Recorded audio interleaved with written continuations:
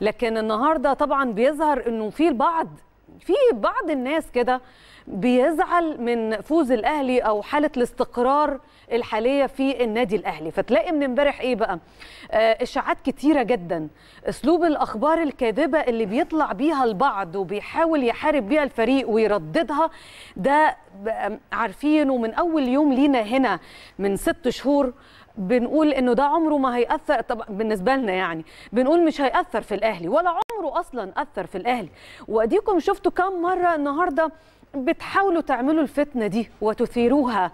بتقولوا أخبار ملهاش أي لازمة ملهاش أي علاقة بالواقع الحقيقة غير بس إن هي يعني بتحاول إن آه، تنفذ معرفش بقى أجندة معينة نقول مخطط عايز تضرب استقرار الأهلي ليه؟ الأهلي كيان كبير وعظيم وصرح صعب جدا جدا إنه يتأثر بمثل هذه الإشاعات المغرضة.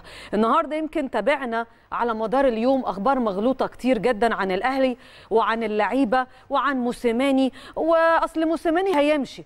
آه، أصل موس- موسيماني هيقعد. أصل أجاييه فاكرين؟ أجاييه كان الكلام عنه الفترة اللي فاتت لعب ال 90 دقيقة. ولعب بالميراس 15 دقيقة قبليها. النهارده مين يمشي ومين يقعد؟ دي بس ده ده اللي ربنا بيقدركم عليه علشان تهزوا استقرار ال- النادي الأهلي ولكن ده ما حدثش ولن يحدث. والحقيقة أنا برضو يعني النهارده آه، ده ده شغل ناس كتير قوي برضو مش عارفة ليه.